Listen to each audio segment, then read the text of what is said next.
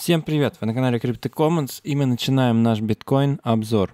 Что происходит на графике? Происходит небольшой такой рост, который приводит нас на дневном таймфрейме к сетке EMA Ribbon. Что это означает для биткоина? Давайте-ка подумаем с вами. С одной стороны рисуем разворотное W, и похоже, что сетка EMA Ribbon сейчас выступает сопротивлением, но если мы пробиваемся над ней и закрепляемся над ней, то, соответственно, это разворотный паттерн, цели по которому, ну, как минимум, вот этот восходящий коридорчик, это, как мы уже с вами обсуждали, 32-36 тысяч долларов по биткоину.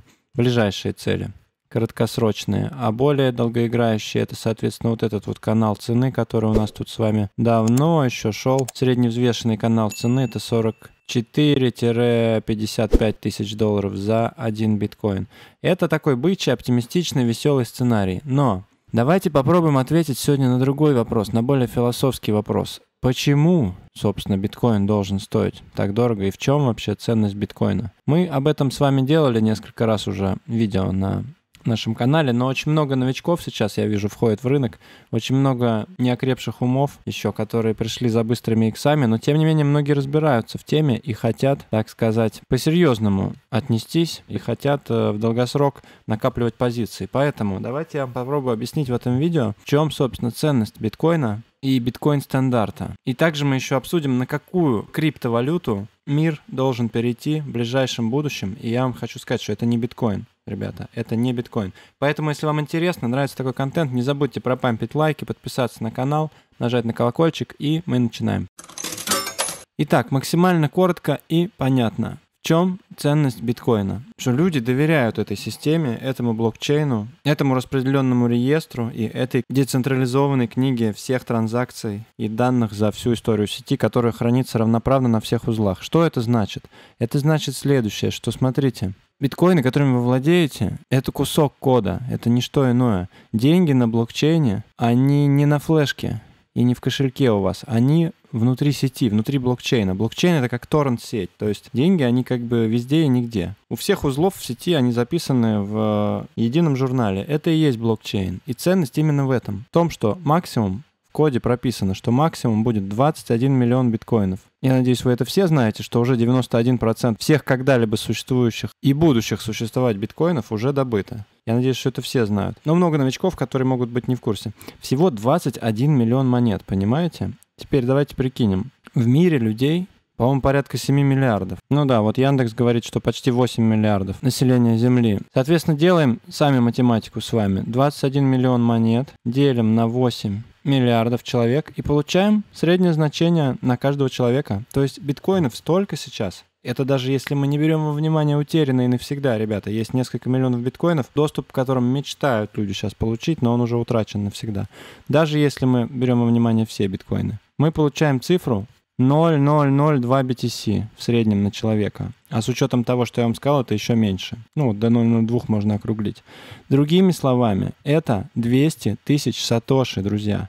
200 тысяч сатоши, ну 250, это среднее на человека, среднее количество биткоинов, которым может завладеть человек в мире. То есть биткоинов на всех не хватит. И вот к этой мысли я и хотел подвести, ребята, что долларов, как мы знаем с вами, напечатали просто триллионы. За последнее время, за последние несколько лет долларов напечатали как минимум X2. ФРС США, скажите им большое спасибо. А биткоинов больше не стало. Их становится больше, но очень планомерно, медленно, все меньше и меньше новых биткоинов производится. Поэтому что здесь происходит-то на самом деле? Дикий дефицит биткоинов на биржах, то есть люди выводят свои монеты на холодные кошельки. Мы видим количество адресов, аккумулирующие более одного BTC на кошельках, растут. Растут в геометрической прогрессии и переписывают all-time high. Мы видим хэш-рейт сети биткоина тоже переписывает all-time high. Соответственно, мы видим то, что у нас происходит сетевой эффект. Сейчас мы все еще с вами, знаете где? Где-то вот здесь вот, если вы хотите поспекулировать. Потому что, смотрите, я объясню.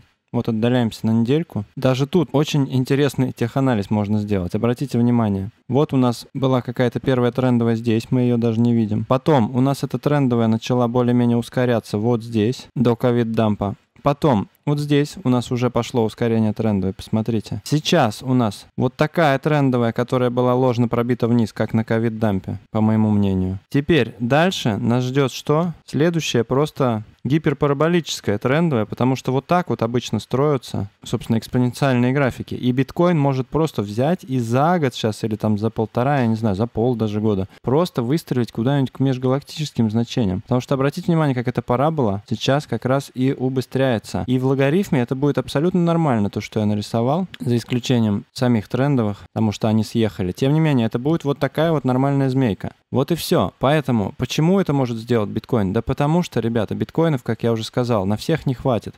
Зато на всех хватит Сатош. И вот та валюта, о которой я хотел с вами поговорить. Надо понимать, что биткоин это уже сейчас недосягаемая величина для многих, даже по цене в 20 тысяч долларов. Но в одном биткоине, ребята, 100 миллионов сатоши.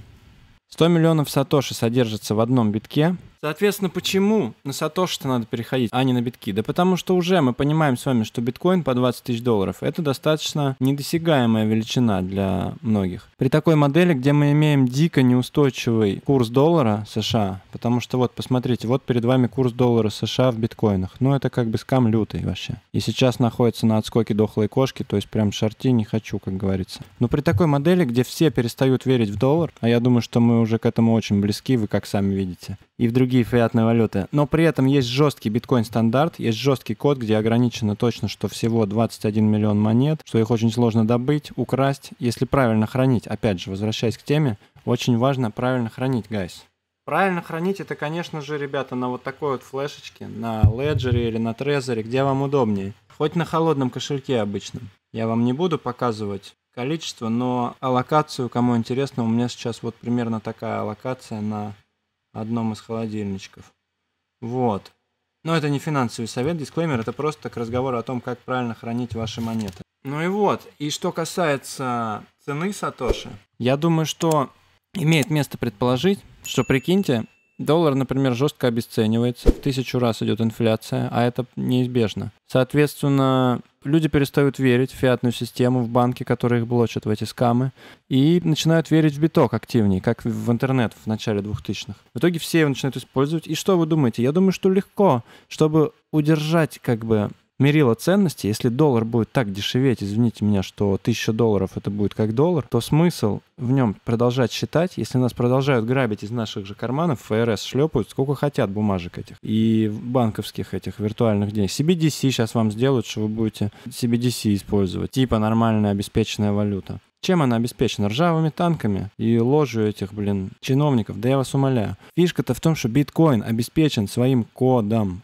Он обеспечен доверием людей к коду. Код — это закон. И в этом коде прописано не больше, чем 21 миллион монет, не больше, чем 100 миллионов сатоши в одном биткоине. И таким образом получается, что мы имеем 100 миллионов сатоши, умноженные на 21 миллион монет, мы имеем вот такую цифру в сатошах. Вот я даже проверил специально в Яндексе. Это 2 квадриллиона сатоши, ребята. 2 и 1 квадриллион сатоши. В принципе, нормальное число, чтобы на всех хватило. Я думаю, что долларов к тому времени будет тоже примерно вот столько. Соответственно, 1 Сатоши будет равняться 1 доллар вполне себе нормально. В таком случае один биткоин будет стоить 100 миллионов долларов. Приготовьтесь просто к такому сценарию, что будет полный вообще апокалипсис в плане фиатных валют, в плане голода на земле и так далее. А биток будет просто расти, расти и расти, потому что действительно это единственный честный протокол. О чем, кстати, Андреас Антонополус прекрасно говорит в одной из своих лекций. Обязательно ее посмотрите, если не видели, сейчас она появится у вас сверху.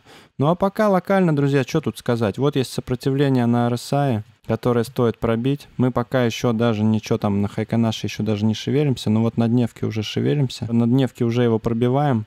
Короче говоря, конечно же, Туземун но аккуратно. Сейчас больший риск это не быть в биткоине, чем быть в нем. Тем более после настолько сильной коррекции на 72%. Да, мы можем упасть еще на 80% и валяться вот здесь. Можем, но, и на мой взгляд, вам нужно сейчас активно аккумулировать всю вот эту зону и не останавливаться, аккумулировать даже выше, потому что это не хаи, ребята, это только начало в этой теме, я тут практически уверен. Вот, все мои сделочки держу, продолжаю, торгую на Bybit, Ссылка на биржу в описании. Очень удобно здесь торговать. Все классно, вообще шикарно. Если вы не видели обзор по этой бирже, посмотрите обязательно. Вот сейчас торгую паттерн Кобра по Дэшу и по другим монетам. Жду очень сильный отстрел наверх. Пишите в комментариях, что вы думаете, как торгуете вы и ходите ли вы на холодных кошельках. Напишите, пожалуйста, это очень важно. Старайтесь, пожалуйста, большую часть своих инвестиций держать в долгосрок на холодных кошельках и не торгуйте на все на бирже. Вот такой вот нефинансовый совет дисклеймер сегодня от Грини. Спасибо, что посмотрели этот выпуск. Пампите лайки, если хотите, чтобы биточек еще порос. Если хотите, чтобы он упал, и вы в шартах, то пишите комментарии. И помните, тренд — это ваш друг. Всем профитролей, до следующей встречи, пока.